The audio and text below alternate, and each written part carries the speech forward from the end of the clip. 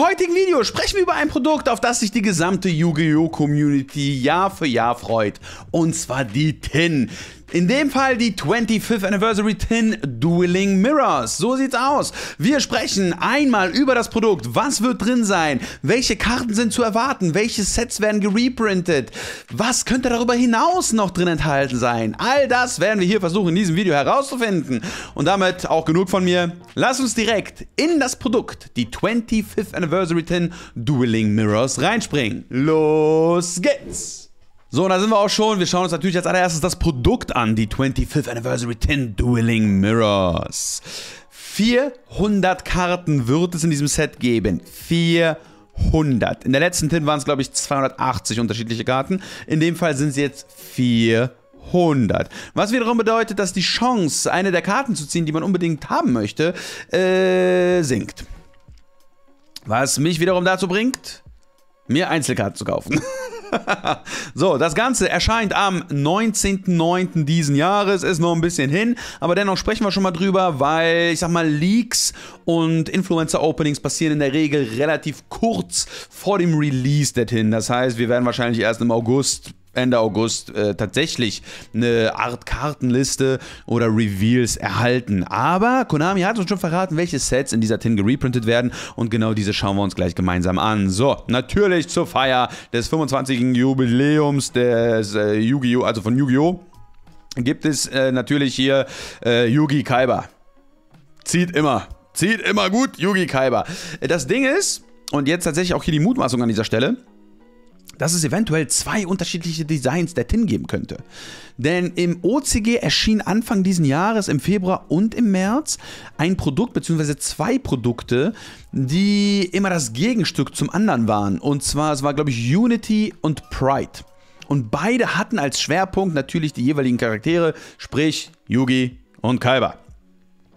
Und dadurch, dass die das hier schon so trennen und so präsentieren, habe ich so ein bisschen das Gefühl, als ob wir auch so eine Tin bekommen könnten. Die Frage ist natürlich, ob sich dann die Inhalte unterscheiden. Wird es Promokarten geben? Ja, nein, vielleicht. Aktuell gibt es diese Informationen noch nicht. Ist das nur eine Mutmaßung von mir oder wird es tatsächlich am Ende so stattfinden? Schreibt es mir gerne in die Kommentare, was ihr davon haltet. Ich kann mir durchaus vorstellen, dass das äh, in so eine Richtung gehen könnte, denn wir haben hier einen Hinweis auf Karten aus der Unity and Pride Collection. Und zwar, gehen wir mal ein bisschen weiter drunter. Wir bekommen nämlich alternative Artwork vom Red Eyes Black Dragon, Dark Magician Girl, Harpies, Featherduster und Raigeki. Die Artworks schauen wir uns gleich nochmal in einem Instagram-Post an, äh, wie diese aussehen und welche Karten dann eventuell auch noch drin enthalten sein können. Wir sprechen hier an dieser Stelle über alternative Artworks. So, dann wird hier natürlich ganz groß über äh, Yami Yugi und Seto Kaiba gesprochen, World's Greatest Duelists, Labarababa. Viel interessanter allerdings an dieser Stelle ist, dass wir 400 Karten tatsächlich in diesem Set äh, haben werden. Wir scrollen mal etwas weiter runter. 50 Quarter Century Secret Rares werden in dieser Tin in total enthalten sein. 50 Stück.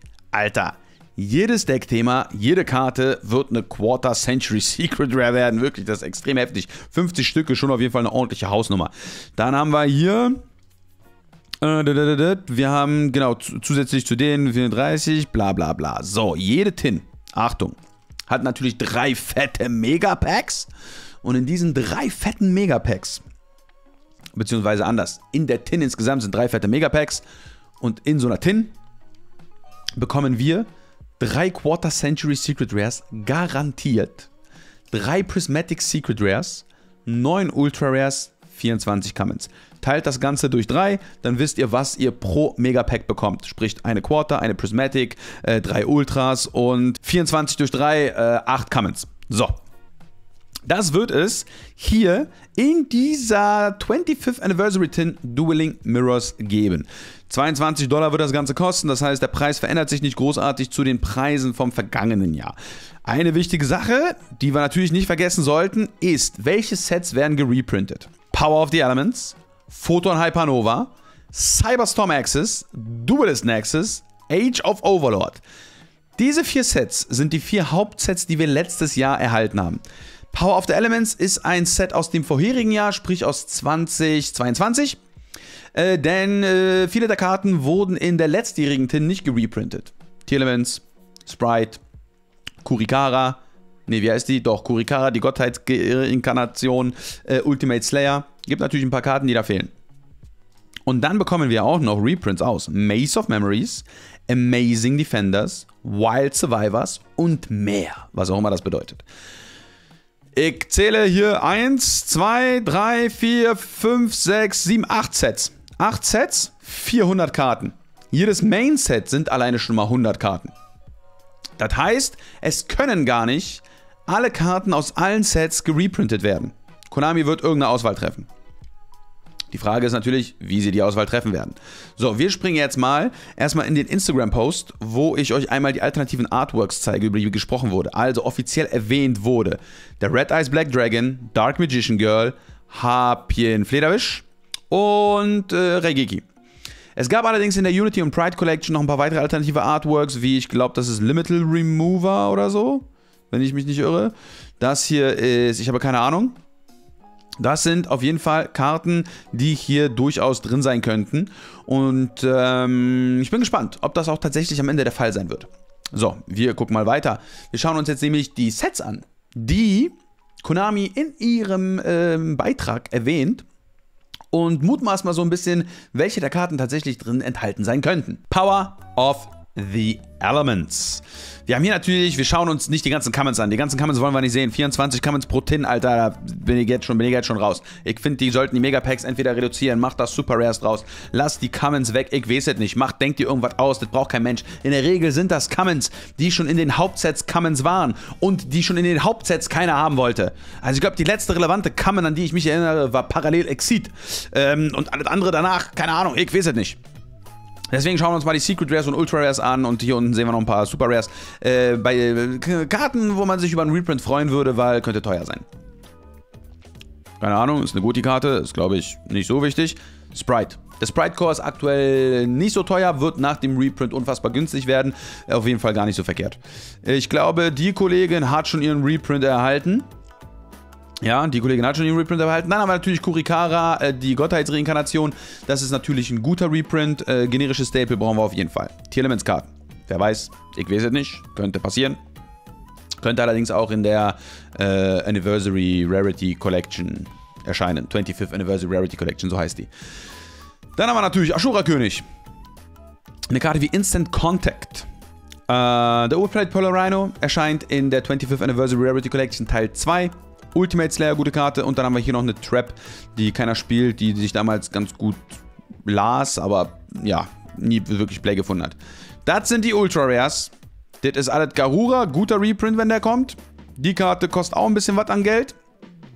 Die Karte ist hier Band. Und der Rest, also keine Ahnung. Ich weiß es nicht. Super Rares auch mehr oder weniger interessant. Nächstes Set. Maze of Memories. Wir machen das Ganze mal chronologisch. Hier haben wir tatsächlich ein paar Karten, die ein bisschen was gehen. Auch hier der äh, Axel Synchro Stardust Dragon. Hier haben wir Wake Up Your Elemental Heroes so, das ist eine 10-Euro-Karte, das ist so eine 20-Euro-Karte. Ne, dann haben wir hier noch äh, Rika Glamour und äh, Teardrop the Rika Queen so. Keine Ahnung, ob die in irgendeiner Art und Weise gereprintet werden. Dual Academy und dann haben wir hier noch den ganzen Gate Guardian Support. Ihr könnt davon ausgehen, dass das Zeug da drin sein wird. Das ist eine Yugi und Kaiba-Tin saved. Wir schielen natürlich auf den guten alten Duel Monsters Anime. Das wird da alles drin sein. Ihr könnt Konami nicht entkommen. Anime Support muss her. Ja. Die Karten sind gar nicht so günstig, aber ich bin mal gespannt, ob das tatsächlich am Ende drin sein wird. Kann es mir durchaus vorstellen. So, das sind die neuen Karten. Natürlich gab es in Maze of Memories natürlich auch noch jede Menge Reprints, aber die, über die reden wir jetzt nicht an dieser Stelle. Wer weiß, ob Chimera damit drin sein wird. Bin gespannt, ob Konami da einfach noch voll random einen weiteren Reprint reinbuttert. Wir sprechen über Amazing Defenders. Rescue Ace hat seine Reprints bekommen. Purli erhält seine Reprints in der 25th Anniversary Rarity Collection. Das heißt, es bleibt eigentlich nur noch Mikanko. Das einzige Deck, was dort irgendwie vernünftig gereprintet werden kann. Vielleicht noch einzelne Karten, die nicht in der Rarity Collection enthalten sein werden. Keine Ahnung. Richtig begeistert bin ich nicht. Aber das sind auf jeden Fall Karten, die die 400 Karten äh, in der Tin voll machen werden. So, wir machen weiter mit Photon Hypernova. Ein weiteres Hauptset, welches gereprintet wird. Das ist natürlich ein guter Reprint. Grave, äh, Gravekeepers Inscription. Auch wenn nicht allzu teuer die Karte, dadurch wird sie unfassbar günstig. Dann haben wir hier natürlich den Gigantic Champion Sagas. Guter Reprint an der Stelle. Kastira Riceheart, eine Karte, die auf der Banlist ist, wird, glaube ich, nicht gereprintet. Dann die Frage tatsächlich an dieser Stelle, äh, diese Karte findet in der 25th Anniversary Rarity Collection statt. Bekommen wir diese Karte dann auch in der Collection oder dann erst in der Tin? Werden beide Karten in der Tin gereprintet? Das ist natürlich ein sehr großes Fragezeichen an der Stelle. Und dann natürlich Triple Tactics Trust. Die Karte wird safe einen Reprint erhalten, hat ja schon einen Reprint bekommen. Das heißt, die Karte wird dann auf um die 10 Euro droppen, was auf jeden Fall ein extrem sexy Preis ist. Dann haben wir noch eine Karte, die gar nicht so schlecht ist, allerdings nicht gespielt wird. Und zwar die äh, Brückenwaage heißt die, glaube ich.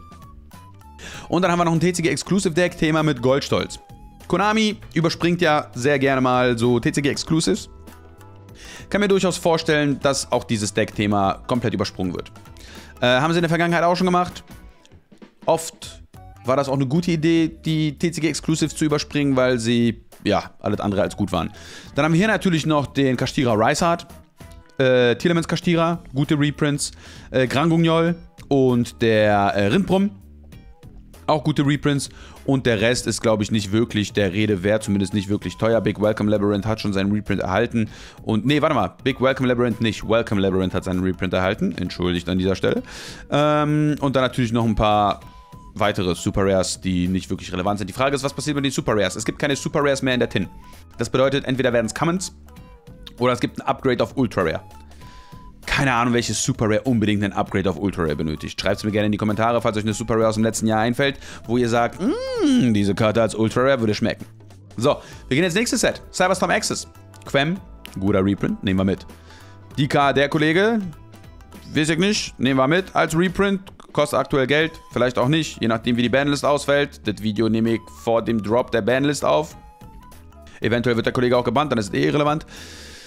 Vicious Astralaut. Guter Reprint, nehmen wir mit. Genauso wie Lulu Valilith. Und der Chaos Engel. Eine weitere Money-Karte, die dort gereprintet wird. Also wir haben Thrust und den Chaos Engel. Safe wird der Kollege dort gereprintet. Dann haben wir hier noch einen weiteren Planeten und ein paar Goldstolz-Karten. Ha. Viele Manadium-Karten, die dort Reprints bekommen könnten. Rarity Upgrades, Downgrades. Hier Rarity Upgrade für Bestial Disparta. Schmeckt auf jeden Fall. Auch ein guter Reprint. Nehmen wir auf jeden Fall so an der Stelle mit. Und das war es dann wiederum auch schon. Also wie ihr seht, sehr, sehr überschaubar, was wir so pro Set so sind. So ein bis drei Karten pro Set, wo man sagt, yo, da freue ich mich so richtig drüber. Und dann gibt es so ein paar mittelmäßige Karten, wo man sagt, ach ja, komm, nimm mit, ist aktuell, kostet ihn 10er, ist ein One-Off, stört nicht großartig. Aber ich bin Fan von Reprints, macht die Karten allen Spielern zugänglicher, vor allen Dingen, wenn sie dann günstiger werden nach dem Reprint.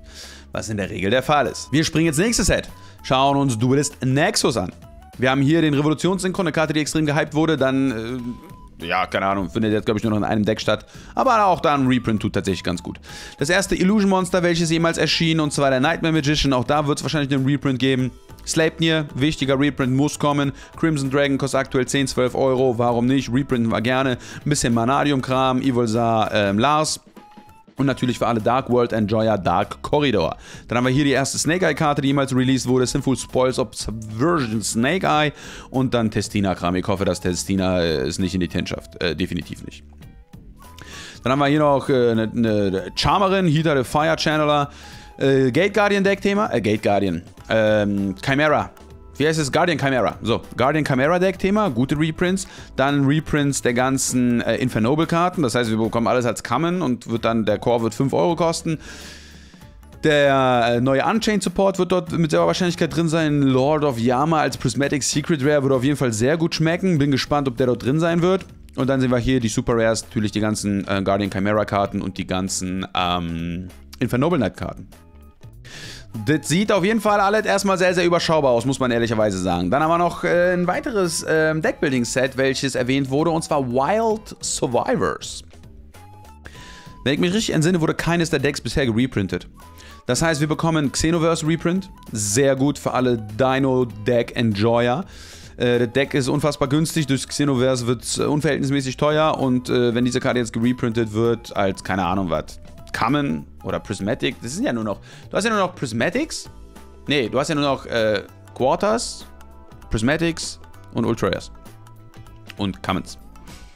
Keine Ahnung, wie der Print. Also, das bedeutet ja dann auch wiederum, dass sie entweder einen Upgrade auf Prismatic Secret Rare machen oder die Karte einfach nochmal einen Ultra Rare Reprint bekommt. Irgendwie wild. Dann haben wir hier natürlich Vanquished Soul. Äh, da brauchen wir ein paar Reprints. Das Deck-Thema ist zu teuer für das, was es kann. und Vanquish Soul. Nee, was habe ich gerade gesagt? Was habe ich eben gerade? Doch, Vanquished Soul ist das hier. Und jetzt kommen wir hier zum äh, Hungry Burger Deck Thema, ähm, wie heißt das? Nouvelle. Nouvelle wird dort gereprintet werden. Genauso wie Mikanko. Das sind so Sachen, da fragt man sich, muss das sein? Aber ja, werden wir alles bekommen, wahrscheinlich als Kammen.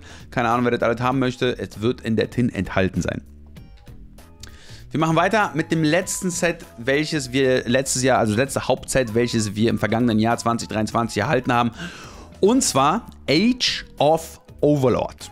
Und jetzt schauen wir uns mal die Kartenliste an und dann schätzt ihr mal sehr realistisch ein, ob alles davon gereprintet wird. Vor allen Dingen nachdem Konami in der letztjährigen Tin den größten Kartenpool aus Power of the Elements rausgelassen hat.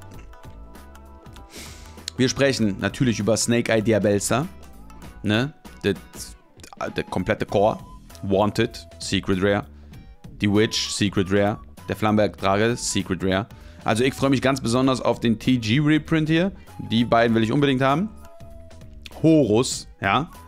SP Kleine Ritterin, die Butlerin für Labyrinth, Typhoon, wenn wir jetzt in die Ultra Rares gehen. Glaube ich die teuerste wahrscheinlich. Dann haben wir hier noch die Snake Eye Karten. Also, nur so vom Gefühl her. Ich glaube nicht, dass sie alles reprinten werden. Ich kann mir durchaus vorstellen, dass sie sich wie bei Power of the Elements einige Karten oder Deckthemen rauspicken, die sie reprinten. Und den Rest gar nicht reprinten. Auch wenn wir über 400 Karten tatsächlich, den 400 Kartenpool sprechen, kann ich es mir irgendwie nicht vorstellen. Vielleicht aber auch wiederum doch, weil die Engines aktuell so enorm teuer sind und die Tin dadurch einen sehr hohen Value haben wird und natürlich sehr oft aufgerissen wird, weil man natürlich an diese teuren Engines kommen möchte. Und selbst nach einem Reprint, je nachdem wie die Bandlist bis dahin aussehen wird, werden so Snake Eye Wanted Karten immer noch teuer sein. Genauso wie die Horus Engine. Also ein Amset, der wird, äh, glaubt nicht, dass ihr sie für unter 10 Euro dann bekommen werdet nach dem Reprint. Guckt euch mal äh, den Lubellion an. Der kostet äh, 10 Euro, zwischen 8 und 12 Euro, so immer im Schnitt. Der Fenrir, weil er generisch ist, zwischen 15 und 17 Euro. Deswegen wird ein Amstead auch so in dem Bereich unterwegs sein. Die Butlerin, ja, wird vielleicht unter einen Zehner kosten. Die Witch wahrscheinlich auch. Wanted, 20 vielleicht, wenn es der erste Reprint ist. Dann haben wir eine SP Kleine Ritterin.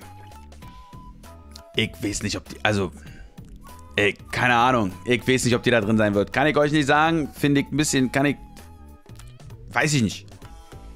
Vielleicht. Oder die lassen hier die beiden fetten Engines raus und reprinten dann zwei Money-Karten oder drei Karten hier.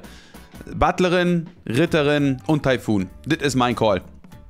Die reprinten alles von Manadium und TG. Testina lassen sie hoffentlich raus. Und die Snake Eye, Diabellstar und Horus-Karten lassen sie aus der Tin raus. Könnte ich mir sehr gut vorstellen. Das heißt, wir bekommen drei Money-Karten. Plus ein bisschen Krimskrams. Und das ganze Zeug, was die ganze Yu-Gi-Oh! Welt haben möchte, wird nicht gereprintet ist vielleicht auch mehr oder weniger, interess weniger interessant, äh, je nachdem wie die Bandlist bis dahin aussieht. Also Age of Overlord, dadurch, dass es das letzte Hauptset, welches im vergangenen Jahr erschienen ist, kann ich mir durchaus vorstellen, dass aus diesem Set die wenigsten Karten in der Tin gereprintet werden. Klar benötigen die äh, äh Horus Engine und auch die Wanted Diabelsta Engine ähm, definitiv Reprints, aber ich weiß nicht, ob das in der Tin stattfinden wird. Ich weiß es einfach nicht. Ich fühle es irgendwie nicht. Aufgrund der 400 Karten kann könnte es sein. Aber ich kenne Konami mittlerweile ein bisschen. Ich habe das Gefühl, das wird nicht passieren. Irgendwas werden sie rauslassen. Also entweder gibt es die Butlerin, die Ritterin und den Typhoon. Oder diese drei Karten werden rausgelassen und alles andere wird gereprintet. Ich kann mir einfach nicht vorstellen, dass die die Tin so fett gestalten, dass dort alle Money-Karten drin sein werden. Das kann ich mir einfach nicht vorstellen. Du brauchst ja auch noch irgendein, irgendwas an Futter für Reprint-Produkte Anfang 2025. Es kommt ja immer irgendwas raus. Maze of irgendwas, Ghost from the Past oder whatever. Denkt dir irgendwas aus. Battles of Legend. Schieß mich tot. Da muss natürlich auch noch ein bisschen was übrig bleiben, um es zu reprinten, um die Produkte zu verkaufen. Deswegen, es bleibt spannend. Konami schrieb ja in ihrem Beitrag, oder in der Produktbeschreibung steht ja auch and more. Jetzt schauen wir uns mal das and more an. Ich bin mal in das letzte Jahr Zeitreise in das letzte Jahr und habe mir mal angeschaut, was dort so für Produkte unter anderem noch released worden sind. Structure Decks, jede Menge. Konami hat auch schon mal in der Vergangenheit Structure Decks tatsächlich in der Tin gereprintet. Alles einfach in einer hohen Rarität reingeballert. Hier haben wir einmal das Dark World Structure Deck. Kann ich mir durchaus vorstellen. Sehr beliebtes Deck-Thema, dass dort äh, die Reprints drin enthalten sein werden. Why not? Alles tatsächlich äh, möglich. Trap Tricks, ebenfalls. Quarter Century Secret Rare Sarah. Ich freue mich drauf. Ähm, kann ich mir auch sehr gut vorstellen, dass wir Reprints dieses Structure Decks erhalten. Genauso wie ein weiteres. Ey, wir haben letztes Jahr drei fette Fan-Favorite Structure Decks bekommen. Richtig wild. Und der Support war immer gut. Ähm, für Crimson King.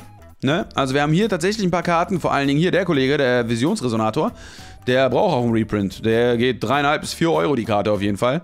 Und die ist aus dem Structure Deck. Also kann ich mir auch da durchaus vorstellen, dass dort gewisse Karten gereprintet werden. Dann haben wir letztes Jahr auch noch so ein Knüllerprodukt bekommen wie äh, Legacy, nee, Legendary Duelist Soul Burning Volcano. Das ganze ähm, Salamangreat Zeug, zumindest die ganzen neuen Karten, die wir hier oben sehen. Auch sowas Geiles wie Battling Boxer und, äh, warte, Volcanic. Das sind ebenfalls Sachen, die gereprintet werden könnten, wenn Konami von And More spricht. Und dann gab es noch das letzte Deckbuilding-Set, welches letztes Jahr erschien. Da glaube ich nicht, dass das in der Tin stattfinden wird. Das wird dann irgendwann im darauffolgenden Jahr wahrscheinlich gereprintet werden. Und zwar Valiant Smashers. Da haben wir äh, Memento. Oder Memento, warte mal, Memento, na, Mementolal, Mementonal, Memento, na, Memento. Dann haben wir natürlich Centurion und Reprints, die keiner sehen will, und zwar Velmonica. Das wird, glaube ich, nicht in der Tin stattfinden. Ist das letzte Deckbuilding-Set, welches letztes Jahr erschien. Ich glaube, kurz vor dem. Ich glaube, es erschien Valiant Smashers und dann als letztes das Structure Deck Dark World. Nee, das Structure Deck Crimson King, sorry. Structure Deck Dark World war das erste Structure Deck, was erschien. Structure Deck Crimson King war das letzte, was erschien. Das ist mehr oder weniger ein Kartenpool, aus dem Konami sich seine Rosinen picken wird und diese dann in die Tin ballert. Und damit kommen wir jetzt auch mal zum Abschluss und zum Ende des Videos. Also aufgepasst. Fazit. 25th Anniversary Tin Dueling Mirrors. Grundsätzlich geiles Produkt, danke für die Tin. Die Comments braucht kein Mensch. Lass die weg, sind Comments, die man schon aus dem Hauptset nicht ziehen wollte. Bei dem Kartenpool von 400 Karten, und wir fliegen hier mal ganz kurz über die Sets, ja, wo man sagen, pro Hauptset sind schon mal 100 Karten, wir sprechen über 5 Hauptsets. Klar, einige Karten aus ähm, Power of the Elements wurden schon gereprintet, aber was waren das? Fünf Stück oder sowas? Garura? An mehr kann ich mich nicht erinnern. Lass es fünf bis zehn Karten gewesen sein. Das heißt, du hast da immer noch um die 90 Karten, die gereprintet werden müssen. Klar, wenn du die TCG Exclusives rausnimmst, kannst du vielleicht überall so minus 10 machen. So, dann bist du bei 90 Karten pro Hauptset, die gereprintet werden müssen. Dann hast du noch die ganzen Nebensets. Wenn Konami gut unterwegs ist und nur die ganzen neuen Karten reprintet, sprich nicht nochmal all das reprintet, was eh schon gereprintet wurde, bist du sowieso bei ungefähr 20, 25 Karten pro Set, ja, bei den ganzen Nebensets. Und dann kommen wir natürlich auch noch in so eine Richtung, ähm, wo wir dann über die Structure Decks sprechen, die natürlich auch ihre Reprints bekommen könnten. Das heißt, bei so vielen Karten wird Konami irgendwas weglassen müssen. Die Frage ist, was wird Konami weglassen? Ich glaube nicht, dass Konami die Commons weglassen wird. Wenn, dann sind es die ganzen hochpreisigen Karten, die jeder haben möchte. Weil diese kann man ja nochmal in einem anderen Produkt äh, Anfang 2025 reprinten. Es bleibt auf jeden Fall spannend. Schreibt mir mal gerne in die Kommentare, was ihr tatsächlich davon haltet. Was ihr glaubt, welchen Weg Konami gehen wird. Bekommen wir Snake Eye, Diabellstar, Horus, SP Kleine Ritterin, Trust, Chaos Engel? den ganzen Branded Despia-Kram. Es sind einfach zu viele extrem heftige Sachen, die ich hier gerade einfach mal aufgezählt habe. Ich springe ja nochmal über die Liste. Hatten wir hier noch irgendein generisches Ultra-Staple, was jeder unbedingt haben möchte? Der Revolutionssynchron, auch eine Secret Ready, 35 Euro geht. Also das ist... Ich waste nicht. Ich, ich hoffe es. Bei einem 400-Karten-Pool, dass da einfach alles drin ist. Die Frage ist dann natürlich auch, ihr kauft euch einen Tin, ihr kauft euch, oder ihr kauft euch einen Case wo zwölf Tins drin sind. Zieht ihr die Karten, die ihr unbedingt haben möchtet. Ne? Bei einem Kartenpool von 400 Karten im Vergleich zu 280 Karten im vergangenen Jahr und selbst da war es ziemlich schwer, einen Fenrir zu ziehen. Jetzt nochmal äh, den Kartenpool erhöht. Das heißt, wie hoch wird die Wahrscheinlichkeit sein, dass wir eine der beliebten oder der begehrten Karten ziehen werden? Dann gibt es nochmal 50 Quarter Century Secret Rares. Alter, es wird, nachdem diese Tin erschienen ist, wird es Quarter Century Secret Rares für unter einen Euro geben. Wirklich. Also die kosten dann gar nichts mehr. Wahrscheinlich sogar unter 50 Cent. Extrem heftig. Ich bin mega gespannt, wie das Produkt aussehen wird. Ich hoffe, Konami überrascht uns positiv. Eine negative Überraschung möchte ich nicht erfahren. Wir werden es spätestens zu den Influencer-Openings erfahren. Diese werden dann irgendwann zwei Wochen vor dem Release der Tin erscheinen. Das heißt, wir müssen uns auf jeden Fall noch mal ein bisschen gedulden. Sollte es in der Zwischenzeit irgendwelche Updates, Leaks etc. zu der 25th Anniversary Tin Dueling Mirrors geben, wird es natürlich von mir an dieser Stelle auch ein Update zu diesem Video geben. Aber aktuell ist das der Zwischenstand, den wir haben. Wir können natürlich die Tin schon mittlerweile vorbestellen. Ähm, und sollten uns tatsächlich Gedanken darüber machen, ob wir sie vorbestellen. Das Gute ist, dass bisher zumindest kein anderes Reprint-Produkt in der zweiten bzw. zweiten Jahreshälfte bzw. im dritten, vierten Quartal angekündigt worden ist. Das bedeutet, es dürfte genug Geld in der Community da sein, beziehungsweise jeder äh, Yu-Gi-Oh! Spieler dürfte äh, genug Geld äh, zusammen äh, zur Seite gelegt haben, um in diese Tin voll rein zu investieren. Was natürlich wiederum die Händler freut und natürlich Konami freut und das wiederum bedeutet, dass wir eine Tin im darauffolgenden Jahr wieder erhalten werden. Spannende Geschichte. Ich bin gespannt, wie das Ganze aussehen wird. Schreibt mir gerne in die Kommentare, was ihr tatsächlich davon haltet. Äh, freut ihr euch auf die Tin? Seid ihr hyped oder denkt ihr euch, ach komm Konami, lass die Tin weg? Jedes Jahr so eine Rarity Collection, 25th Anniversary Rarity Collection, das ist was Feines. Denn da sind die Schmankerl drin, die will ich haben. Das Beste vom Besten. Ich will den Kammenbulk nicht haben. Behalt den Konami, gib mir nur das gute Zeug. Schreibt mir gerne in die Kommentare, ob ihr das eine oder das andere haben wollt, ob ihr beides haben wollt ballert alles unten rein. Und damit auch genug von mir. Ich wünsche euch eine spitzenmäßige Zeit. Lasst es krachen. Wir sehen uns spätestens beim nächsten Video wieder. Wir sehen uns beim nächsten Mal. Bis zum nächsten Mal.